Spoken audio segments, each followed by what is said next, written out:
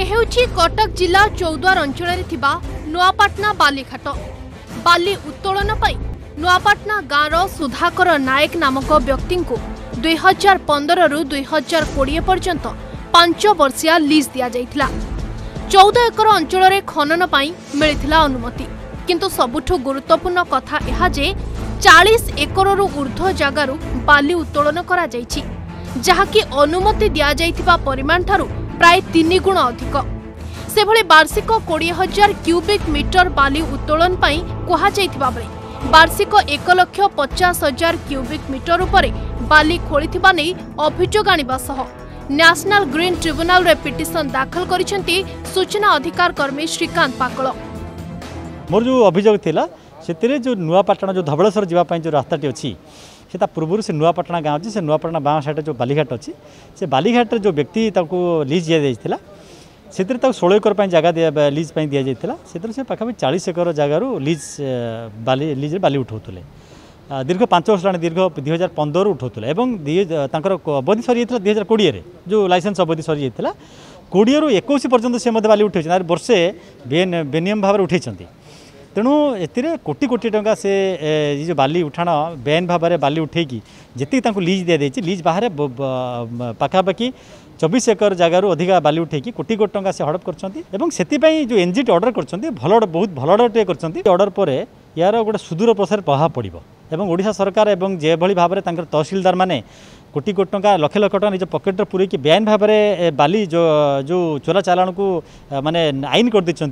বেআইনকু আইন করেদিচ্ছেন ইয়ার তাঁর প্রভাব পড়ে এবং সরকার মু আশা করছি সরকার এভাবে তুরন্ত পদক্ষেপ নিহত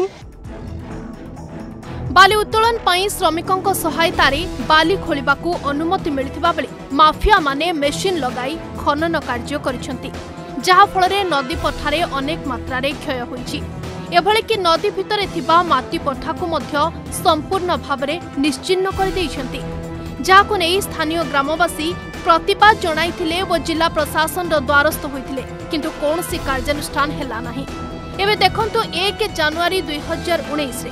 गुगुल मैप्रु क्याचर होता इमेज जो थे सैराद को पठा स्पष्ट भाव जमापड़ आठ मे दुईहजार उन्नीस क्याचर होता इमेज ମାଟିପଠା ସମ୍ପୂର୍ଣ୍ଣ ଗାଏବ ଏହାଛଡ଼ା ସବୁଠୁ ସାଂଘାତିକ କଥା ହେଉଛି ଯେ ବାଲି ଉତ୍ତୋଳନ କରିବା ପାଇଁ ମହାନଦୀର ଗତିପଥ ମଧ୍ୟ ପରିବର୍ତ୍ତନ କରାଯାଇଛି ଚଉଦ ଏକର ବାଲି ନିଲାମ ସେମାନେ ନେଲେ ନେଇଯିବେ କିନ୍ତୁ କାଳକ୍ରମେ ସେ ଚଉଦ ଏକରରୁ ଚାଳିଶରୁ ପଚାଶ ଏକର ବେଆଇନ ଭାବେ ବାଲି ସେମାନେ ଉଠାଣ ଆମେ ପ୍ରତିବାଦ କଲୁ ସେମାନେ ଆମ କଥା ଶୁଣିଲେନି ଏ ପ୍ରତିବାଦର ସ୍ୱର ଯାଇକିନା ତହସିଲ ଅଫିସରେ ପହଞ୍ଚିଲା କଲେକ୍ଟର ପାଖରେ ପହଞ୍ଚିଲା କିନ୍ତୁ ଦୀର୍ଘ ଦିନ ବହୁବାର କମ୍ପ୍ଲେନ୍ କରିବା ସତ୍ତ୍ୱେ ମଧ୍ୟ ସେମାନେ ଆମ କଥା କେହି ଶୁଣିଲେନି ନ ଶୁଣିବା ଦ୍ୱାରା କାରଣ ସରକାର ବଳରେ କାହା ବଳରେ ନୁହଁ ଏଇଟା ପ୍ରଶାସନ ବଳରେ କାରଣ ତହସିଲଦାର ତାଙ୍କୁ ଘଣ୍ଟ ଘଡ଼େଇଲେ ପ୍ରଶାସନ ଯିଏ ରହିଲେ ତାଙ୍କୁ ଘଣ୍ଟ ଘଡ଼େଇଲେ ସ୍ଥାନୀୟ ନେତାମାନେ ବି ଘଣ୍ଟ ଘଡ଼େଇଲେ ଯେଉଁ ନଦୀ ପଠା ଗୋଟେ ଥିଲା ସେ ପଠାଟା ଦୁଇ ହଜାର ଉଣେଇଶ ମେ ମାସ ଆଡ଼କୁ ଯେତେବେଳେ ସାଟେଲାଇଟ୍ ଇମେଜ୍ ଆସୁଛି ସେତେବେଳେ ବି ଦେଖାହେଉଛି ଯେ ସେଠି ଅଲରେଡ଼ି ପଠାଟା କାଟି ଦେଇଛନ୍ତି ଏବଂ ସେ ପଠା କାଟିଲା ବେଳେ ବି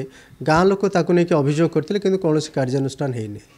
କାହିଁକିନା ମାଟି ପଠା କାଟି ନଦୀର ପଠା କାଟିବା ପାଇଁ କୌଣସି ପ୍ରକାର ଅନୁମତି ନାହିଁ ତାକୁ ଛାଡ଼ିଲା ପରେ ନଦୀ ଯେତେବେଳେ ମାଇନିଂ କରିଛନ୍ତି ସେମାନେ ୱାଟରଟାକୁ ଡାଇଭର୍ସନ୍ କରିଛନ୍ତି ପାଣିକୁ ପାଣିର ଦିଗ ବଦଳେଇଛନ୍ତି ଏବଂ ସେଇ ତାପରେ ସେମାନେ ଇନଷ୍ଟ୍ରିମ୍ ମାଇନିଂ କରିଛନ୍ତି ନଦୀ ଜଳ ଭିତରୁ ମାଇନିଂ କରିଛନ୍ତି ସେଇଟା ବି ଆଲାଉ ନାହିଁ ତେଣୁ ଏସବୁ ବିଭିନ୍ନ କାରଣକୁ ଦର୍ଶେଇକି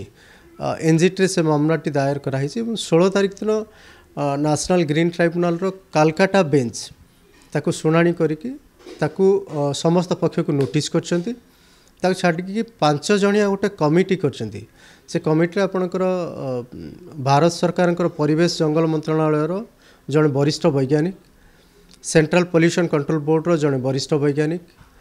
ସିଆ স্টেট এনভারনমেন্ট ইম্প্যাক্ট আসেসমেন্ট অথরিটির জন বৈজ্ঞানিক এবং মাইনিং অফিসর কটক ও ডিস্ট্রিক্ট কলেক্টর কটক এই পাঁচজনিয়া কমিটি গোটে করছেন সে উনিশ মে সুদ্ধা রিপোর্ট দাখল করা নির্দেশ রয়েছে এবং এ বি কিন্তু যদি এক্সেস মাইনিং হয়েছে তাহলে তো এনভারনমেন্টাল কম্পেনসেসন বা পরিবেশ ক্ষতিভরণা সেই সে যে তাকে ভায়োলেট করছেন তাঠু আদায় করা ডিরেকশন রয়েছে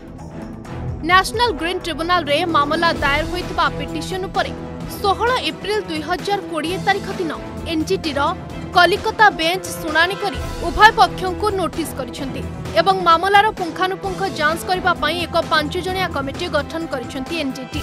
ତେବେ ସମ୍ପର୍କରେ ଆସନ୍ତା ମେ ଉଣେଇଶ ତାରିଖରେ ପରବର୍ତ୍ତୀ ଶୁଣାଣି ରହିଛି କଟକ ଚୌଦ୍ୱାରୁ ଅଜିତ କୁମାର ସ୍ୱାଇଁଙ୍କ ସହ ଭୁବନେଶ୍ୱରରୁ ପ୍ରଦୀପ୍ତ ମହାପାତ୍ରଙ୍କ ରିପୋର୍ଟ ଅର୍ଗସ ନ୍ୟୁଜ୍